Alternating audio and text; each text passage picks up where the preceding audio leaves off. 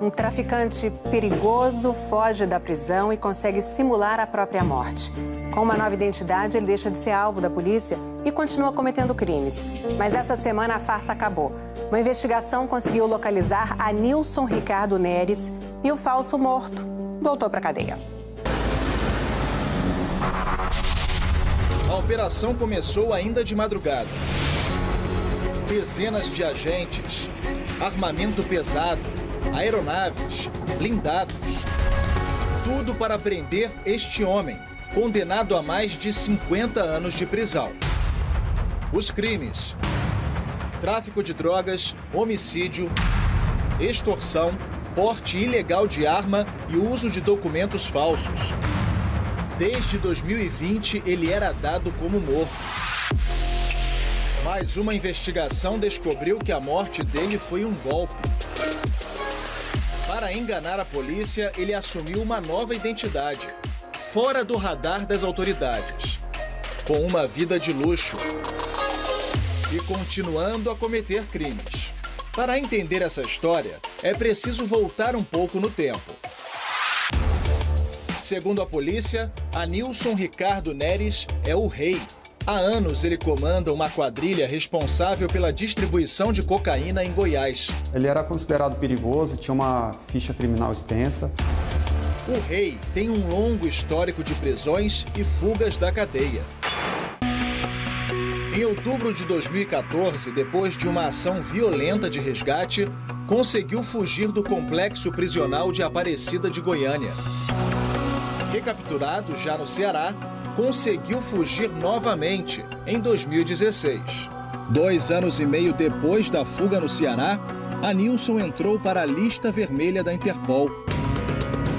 Uma colaboração entre a Polícia Federal e a Força Especial de Luta contra o Narcotráfico localizou e prendeu o traficante na Bolívia, usando um outro nome: Luiz Henrique Neves Neto. Anilson foi extraditado para o Brasil e entregue à Polícia Federal para cumprir uma pena de 30 anos por tráfico e homicídio. Mas ficou apenas dois meses no presídio de Corumbá, Mato Grosso do Sul. Em agosto de 2019, Anilson se juntou a outros presos e conseguiu fugir pela terceira vez. Um desses detentos, ele foi extraditado da Bolívia em junho, viu? É o Anilson Nery, ele é conhecido como Rei. Ele se escondia no país vizinho usando documentos falsos. Eles fugiram, estourando dois cadeados do presídio. Mais de um ano depois de fugir do presídio em Mato Grosso do Sul, Anilson Ricardo Neres foi declarado morto aqui no interior do Pará. A certidão de óbito informa que ele teve uma parada cardiorrespiratória nesta unidade de pronto atendimento na cidade de Capanema em 20 de dezembro de 2020. Nós procuramos a direção da UPA, que negou qualquer participação na fraude. Esse aqui é o livro com o protocolo de óbitos da UPA de Capanema. E quando a gente chega aqui no dia 20 de dezembro de 2020, só teve uma morte aqui na UPA e o nome que aparece não é do Anilson. Qualquer declaração de óbito que passa pela nossa UPA tem que ser assinada por um médico e tem que ser é, vistoriada por nós, da direção. Nós não temos nem no livro de protocolo e nem temos na, nas shelves da declaração de óbito, no qual nós guardamos. Então, não temos registro dele aqui na UPA. Nós tentamos falar com o médico que teria declarado a falsa morte, mas não tivemos retorno. A certidão de óbito foi emitida por este cartório na cidade de Primavera, a 30 quilômetros de Capanema. Fomos até a casa do escrevente que assinou a certidão. O senhor reconhece aqui a assinatura do senhor? A minha. A minha mesmo. Ele não quis gravar entrevista, e disse que entrou em contato com o chefe dele, o oficial do cartório de primavera. Segundo o escrevente, o chefe teria dito que também não iria se manifestar. Na certidão de óbito do traficante consta que ele foi sepultado neste pequeno cemitério na Vila Jaburu, distrito de Primavera. No local não há nem túmulo falso com o nome do Anilson. Depois que fingiu que morreu, o traficante descobriu um jeito de ressuscitar. A Nilson escolheu um vilarejo no interior do Pará para criar uma identidade falsa. O cartório, aqui na zona rural de São Miguel do Guamá, foi extinto em 2020, mas a gente conseguiu localizar o responsável pelo registro da certidão de nascimento forjada. Anderson era o oficial do cartório da vila de Urucuriteua, onde, segundo a polícia, foi emitida a certidão de nascimento de Carlos Henrique Neto da Silva. O senhor se lembra desse caso? Carlos Henrique, o nome dele? Não, não. Assim de, de memória, não, né? As investigações apontaram que o traficante Anilson usou essa certidão para tirar a carteira de habilitação com um novo nome, Carlos Henrique.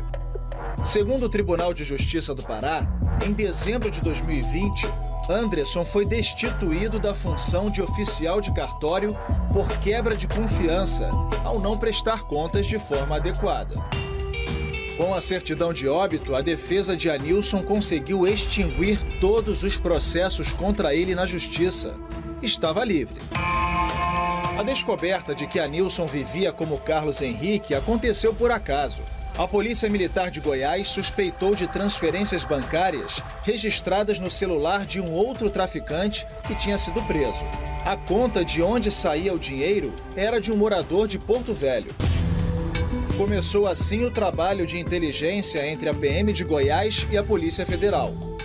Depois de cruzamentos de dados, os investigadores conseguiram confirmar. As fotos dos documentos de Carlos Henrique Neto da Silva eram, na verdade, de Anilson Ricardo Neres. O criminoso estava vivo em Rondônia. Com uma vida de ostentação e longe do alcance da justiça. Se descobriu que, que, que ele realmente era aquele foragido, que nunca, nunca tinha morrido, e que estava usando o nome de pessoas totalmente acima de qualquer suspeita. Ele gastava muito dinheiro na vida noturna aqui em Porto Velho, fechando camarotes, gastava 6, 7 mil por noite. Ao longo da investigação, a gente conseguiu verificar um, um, grande fluxo de compra e venda de veículos, né? São carros aí que custam de 300 a 400 mil reais, alguns chegam até 600 mil reais. E comprando, adquirindo imóveis, comprando recentemente agora uma mansão aqui numa área nobre de, de Porto Velho, inclusive que ele estava reformando. Nós tivemos acesso ao interior da mansão comprada por Anilson por um milhão e meio de reais. A casa está em obras. Um quintal enorme, piscina e churrasqueira dois andares, com quatro suítes. A polícia descobriu que, em Goiás, a empresa da ex-mulher de Anilson, Liamar Maria Aparecida de Almeida Neres, funcionava para lavar o dinheiro do crime. Nove dias após a falsa morte de Anilson, Liamar postou em uma rede social esta mensagem de luto pelo falecimento do então marido.